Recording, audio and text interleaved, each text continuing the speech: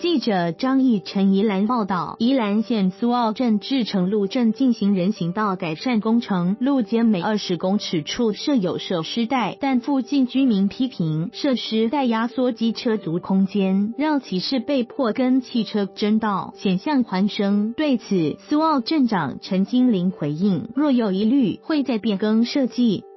苏澳镇的志成路为圣爱里、圣湖里、苏溪里通行要道，碍于人行道上有变电箱、电线杆、路灯等障碍，影响行人通行。去年底，镇公所争取到一千四百万经费，改善育彩路、志成路周边人行道，将路灯、变电箱及电线杆外移至长三公尺、宽约一公尺的设施带。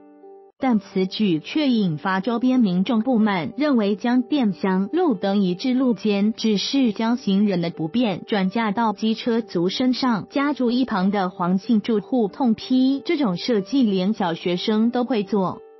这样真的太危险！圣安社区发展协会理事长曾转发批评：志成路上下班车辆多，车速快，又是个大弯道，路肩突出一块如同锯齿状，机车通行空间被迫缩减。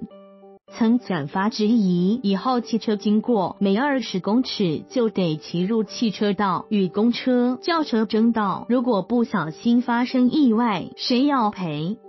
对此，陈金玲解释，志成路是汽机车混焊道，本来没有设计慢车道，且在施工前路间就已停满车辆，即使没做改善，机车也得跟汽车争道，跟新设计相差无多。